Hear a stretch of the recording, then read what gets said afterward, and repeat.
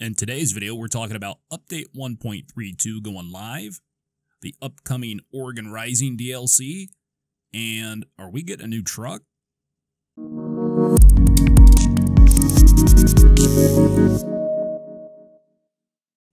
Hello and welcome back to another American Truck Simulator video. My name is Moose78, and if this is your first time watching one of my videos, please take a look around, consider subscribing, and if you do subscribe, be sure to hit the bell icon to be notified when new content goes live. So back on September 17th, SCS Software released Update 1.32 for both American Truck Simulator as well as Euro Truck Simulator 2.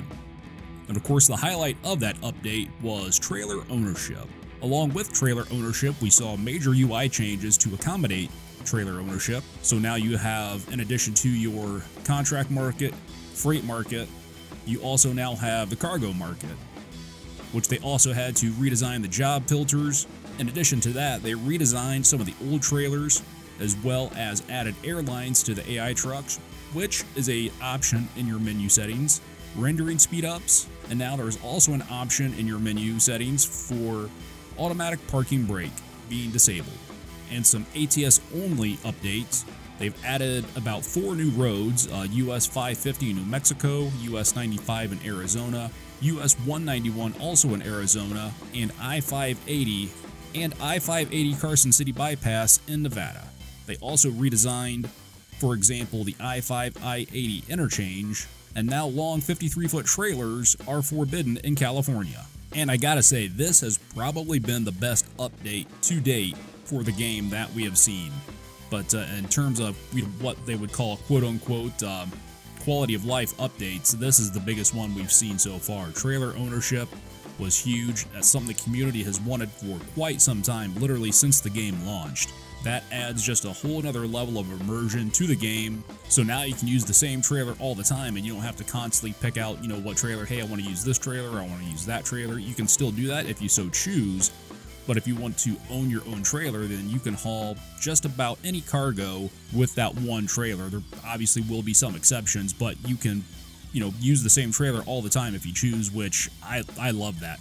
It's it's an awesome feature. Something we had way back, way, way back in the days of 18 Wheels of Steel hauling so it's nice to finally see that implemented in both ATS and ETS2. And of course now the UI looks a little bit different, nothing major, they just kind of had to move a couple things here and there, much like there was with uh, the truck dealerships, you now have a trailer dealership where you can go in and purchase and customize trailers. And of course the job filters had to be redesigned to accommodate for the new cargo market for your own trailer. Then also in the patch notes, they mentioned rendering speedups. I've noticed the frame rates have been a little bit more stable, uh, especially when I use secondary vehicle lights inside the cabin view. I think I'm only losing maybe 10 FPS now, if that, which before it was massive, massive drops. So now at night, when I have my lights on, I can typically stay above 60 FPS, which is pretty awesome.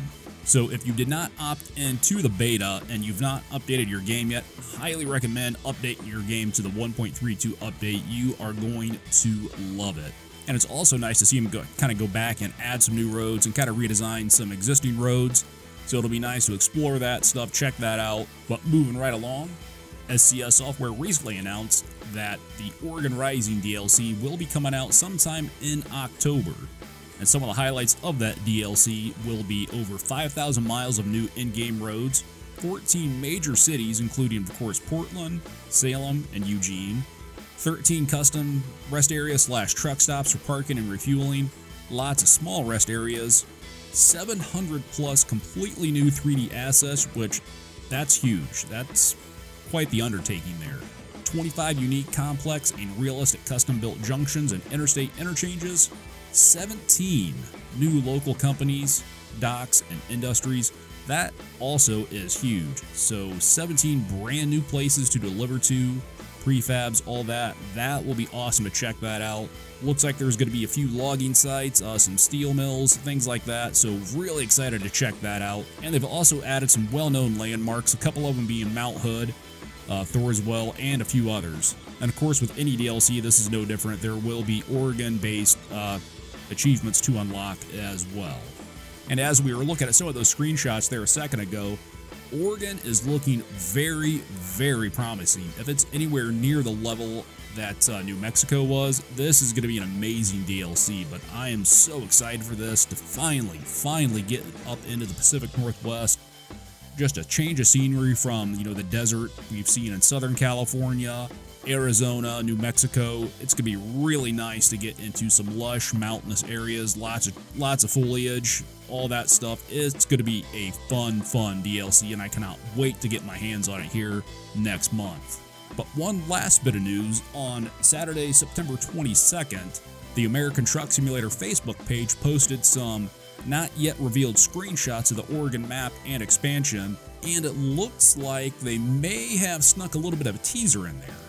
Because from the one screenshot we're looking at here, if you look up towards the top left, back where the road first comes into view, kind of back there where it curves, the red truck kind of looks like it could maybe be a Volvo, maybe a ProStar, can't really tell. But uh, they have kind of done stuff like this in the past when they kind of were before they released the SES 389. They kind of teased that in some uh, screenshots as well. And maybe they've done that here. I don't know. What do you guys think? Are we getting a new truck? Is it going to be a Volvo? Is it going to be an International? Let me know down in the comments below. That is all for today. If you liked today's video, just be sure to like and share. And if this is your first time watching again, consider subscribing. Make sure to hit the bell icon to get notified when new content goes live.